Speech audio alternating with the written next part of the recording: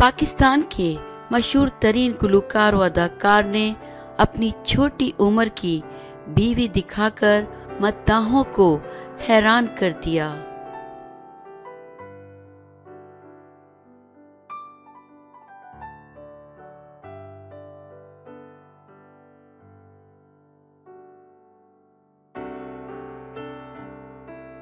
मशहूर तरीन अदाकार की खुद से आधी उम्र की बीवी देखकर तो लोग हैरान रह गए कि पहली बार उन्होंने नीली आँखों वाली खूबसूरत बीवी दिखा दी।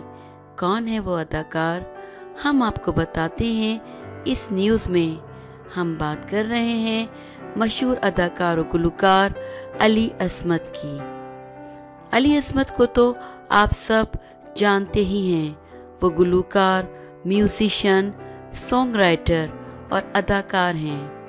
वो मल्टी टैलेंटेड हैं। अली असमत की पहली एल्बम जुनून थी, जिसने मकबूलियत के रिकॉर्ड तोड़ दिए थे।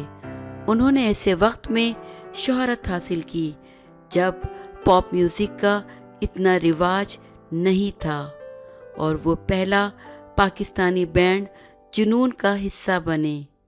अली असमत 1970 में पैदा हुए। और उन्होंने 41 साल की उम्र में शादी की।